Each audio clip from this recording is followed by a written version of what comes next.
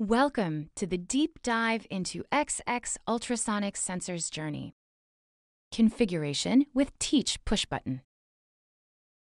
For configurable sensors with discrete output, the Teach button provides access to various setting options. To access these different options, simply hold down the button and release it when the LED status corresponds to the desired option.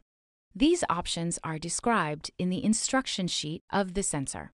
To familiarize yourself with the Teach button configuration, press and hold the button. Release it depending on the desired option.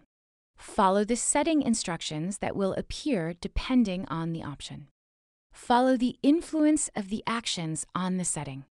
Feel free to test your configuration by moving the box.